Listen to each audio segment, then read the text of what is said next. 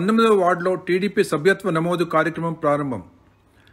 Telugu Desam party జాతీయ అధ్యక్షులు నారా చంద్రబాబు నాయుడు మరియు రాష్ట్ర అధ్యక్షులు కాసాని జ్ఞానేశ్వర్ ఆదేశాల మేరకు సభ్యత్వ నమోదు కార్యక్రమం నల్గొండ పట్టణంలో పంతొమ్మిదవ వార్డులోని శ్రీ రేణుకా దేవాలయంలో నల్గొండ నియోజకవర్గ కోఆర్డినేటర్ ఎల్వి యాదవ్ మొదటి రోజు కార్యక్రమంలో భాగంగా పూజలు నిర్వహించి కార్యక్రమాన్ని ప్రారంభించడం జరిగింది.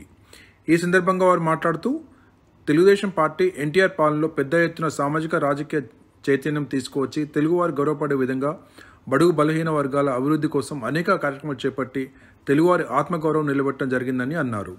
అనంతరం నారా చంద్రబాబు నాయుడు పరిపాలన చేపట్టిన తర్వాత హైదరాబాద్ నగరాన్ని కేంద్రంగా చేసుకుని ఉమ్మడి ఆంధ్రప్రదేశ్లో అనేక విప్లవాత్మక మార్పులు తీసుకురావడం జరిగిందని అందులో భాగంగా ఆ రోజుల్లో ఉన్న నిరుద్యోగాన్ని రూపాపడం కోసం సాఫ్ట్వేర్ రంగాన్ని ప్రవేశపెట్టి అనేక మంది నిరుద్యోగులను ఉద్యోగులుగా మార్చిన ఘనత చంద్రబాబు నాయుడుదేనని పేర్కొన్నారు.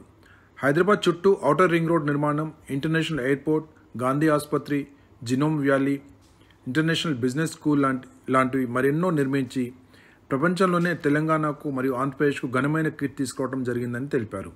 కేసీఆర్ తన రాజ్యాకాంక్ష కోసం అనేక మంది నిరుద్యోగులను విద్యార్థులను కుల సంఘాల వారిని ఉద్యమంలో వాడుకొని తెలంగాణ ఏర్పడిన తర్వాత వారికి ఇచ్చిన ఏ ఒక్క వాగ్దానం నెరవేర్చకుండా ప్రజలను మభ్యపెడుతూ మోసం చేస్తున్నాడని తెలంగాణ ప్రజలకు కేసీఆర్ బూటకపు వాగ్దానాలు తెలియజెప్పి చైతన్యవంతులుగా చేసే విధంగా ఇంటింటికి తెలుగుదేశం కార్యక్రమం ద్వారా మేము ముందుకు వెళ్తున్నామని అన్నారు.